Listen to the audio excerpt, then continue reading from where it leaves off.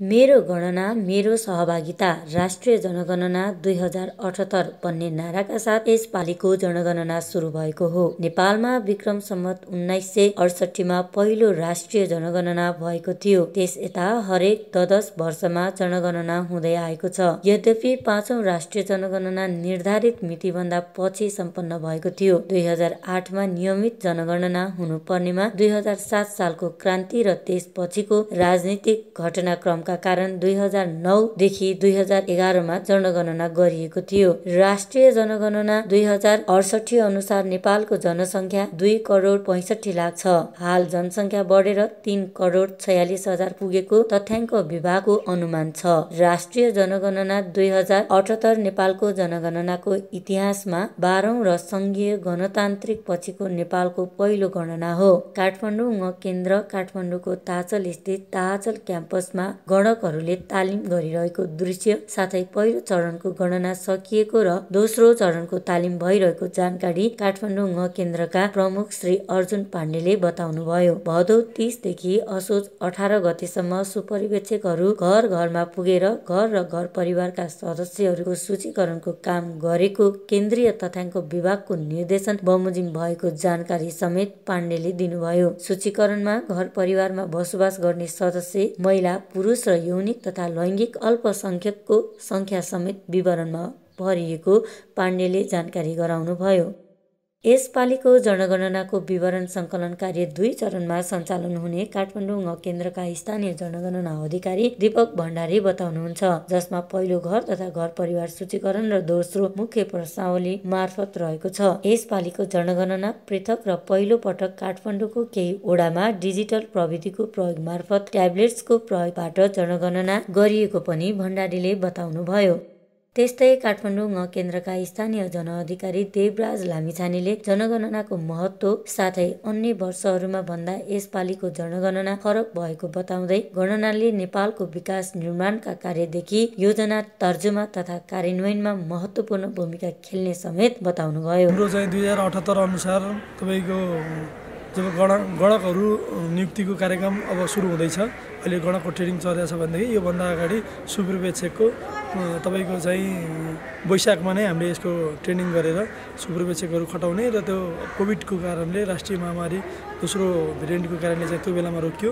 र अहिले अहिले हामी चाहिँ के गरिरहेछौँ भन्दाखेरि पछि फेरि क्याबिनेटको अनुसार भदौ एक्काइस गतिको क्याबिनेट डिसिसनले पुनः सञ्चालन गर्ने भनेर अगाडि बढाएपछि हामीले अहिले सुपरिवेक्षकहरूको एक चरणको तालिम त्यसपछि गएर सु घर घर परिवार सूचीकरण सिद्धाएर त्यसपछि अब आएर हामी गणकको तालिममा पुगेका छौँ र गणकको तालिममा हुँदै गर्दा अहिले हामीसँग यहाँ लगभग चार सय गणकहरू तालिममा हुनुहुन्छ।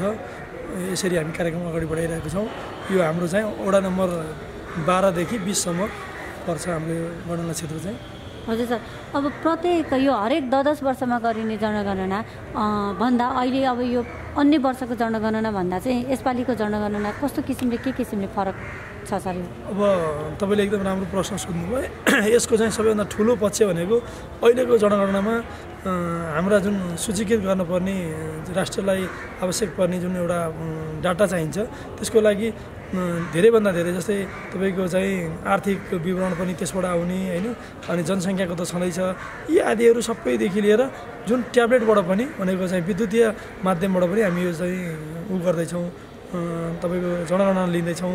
भनेदेखि नेपालभरिमा भएका अफिसहरूमध्ये मध्ये हाम्रो अफिसले मात्रै यो सबैमा हुन त अरूमा नि भएको छ हाम्रो चाहिँ सम्पूर्ण क्षेत्रमा चाहिँ ट्याब्लेटबाट गणना लिँदैछौँ हामी। यो यसरी ट्याब्लेटबाट सूचना प्रविधिको प्रयोग गरेर लिन लागि चाहिँ यो पहिलो चोटि नै होला होइन हजुर। सर एउटा क्या सबैजनालाई चाहिँ एउटा आम नेपालीको लागि आम जनताको लागि चाहिँ एउटा के हुन्छ नि जनगणना चाहिँ किन गर्नु पर्यो होला भन्ने एउटा हुन्छ नि त्यस्तो भन्ने व्यक्तिहरूको लागि चाहिँ जनगणनाको महत्त्व तपाईँ जनगणना अधिकारी भइरहँदा कसरी बुझाउनुहुन्छ? यसमा चाहिँ के छ हजुरले सोधेको विषयमा चाहिँ भने सबैभन्दा ठुलो मान्छेको विकृति विकास अथवा चाहिँ राष्ट्रको तपाईँको चाहिँ सूचाङ्काङ्क भनौँ न आर्थिक होस् सामाजिक होस् उसको लिभिङ स्ट्यान्डर्डदेखि लिएर सबै कुराको चाहिँ यो तथ्याङ्कको आधारमा हुने भएको हुनाले सबैभन्दा महत्त्वपूर्ण चाहिँ यो हामी कतिौँ विश्वमा कतिौँ नम्बरमा छौँ भन्नेदेखि लिएर अब हामीहरू अवस्था के छ भन्नेसम्मको चाहिँ यसले सबैभन्दा ठुलो कुरा चाहिँ सूचना दिन्छ र यो नै यसको चाहिँ देशको एउटा मेरुदण्ड अथवा देशको एउटा चाहिँ विकासको आधारको मापन गर्ने एउटा माध्यम नै यही हो। आम जनतालाई चाहिँ यो यसबाट दिनुपर्छ यसमा हामी भइसकेपछि राज्यप्रति हामी उत्तरदायी हुन्छौँ राज्यले हामीलाई पनि केही सहयोग गर्छ भन्ने चाहिँ मतलब गरिब पनि हुनसक्छन् धनी पनि हुनसक्छन् धनीले ट्याक्स दिन्छन् गरिबलाई सरकारले चाहिँ राहत दिन्छ यसको लागि पनि एउटा वितरणको सहज माध्यम हुन्छ जस्तो लाग्छ मलाई। सुपरिवेक्षकहरूले ट्याब्लेट मार्फत जुन अलि अगाडि घर तथा घर परिवार सूचीकरणको कामहरू सकिसक्नु भएको छ यो सकिरहँदाखेरि सुपरिवेक्षकको टिमले चाहिँ कस्तो किसिमको अनुभवहरू तपाईँहरूमा ट्याब्लेटबाट गर्दाखेरि कस्तो किसिमको अनुभवहरू चाहिँ भनिरहनु भएको छ? कतिको सहजता रहेछ यो कार्य यो के रहेछ भन्नुहुन्छ भने सबैभन्दा पहिलो कुरो त हामी काठमाडौँमा छौँ र काठमाडौँमा पनि विभिन्न जाति धर्म लिङ्ग वेशभूषाका मान्छेहरू बस्ने र यो आधारमा केही ठाउँहरूमा असिलो परे पनि हामीले अँ, सोचेभन्दा राम्रोसँग यो लिन सक्यो र यसमा हाम्रो मोटामोटी अस्सी हजार घर परिवार सूचीकरण छन् हाम्रो क्षेत्रभित्र। त्यसपछि गएर त्यही आधारमा हामीले गणकहरू नियुक्ति गर्छौँ र नेपाल सरकारको स्वीकृत कार्यक्रम अनुसार यसरी नै जाने भन्ने प्रोग्राम छ र यहाँको अहिलेको ठुलो समस्या मध्येमा काठमाडौँको हकमा चाहिँ प्राय कम्पाउन्ड हुने अनि मान्छेहरू चाहिँ लाई पठाउँदाखेरि सुपरभाइजरलाई पठाउँदाखेरि अलिकति त्यो सहजीकरण गर्न गाह्रो भएको अनि मान्छेहरू चाहिँ जागिरमा बढी हुने हुँदा अनि फेरि यो कोभिडको पनि टाइम आएको बिचमा आयो। त्यो आधारले गर्दाखेरि केही छुट्यो कि भन्ने भन्दाखेरि हामीले रिभिजिटबाट पनि सबै कुराहरू डाटाहरू लिएर हामी पूर्ण तयारीमा छौँ। हस् सर यहाँलाई धेरै धेरै धन्यवाद। थ्याङ्क यू नमस्कार।